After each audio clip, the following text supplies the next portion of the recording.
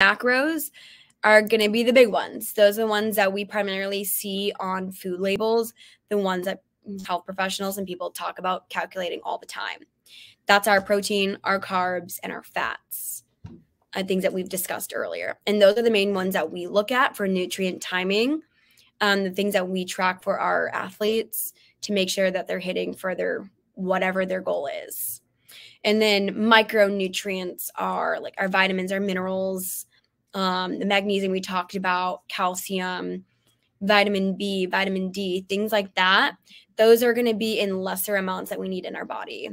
So we need, you know, more carbs up the day, but we can get a lot of carbs from some of these smaller micronutrients. Mm. Um, or they might be things that our body can't absorb more of. So our body doesn't especially in Seattle here, we don't absorb as much vitamin D as someone who might absorb that better in, you know, somewhere closer to the equator um, or maybe in Texas or something.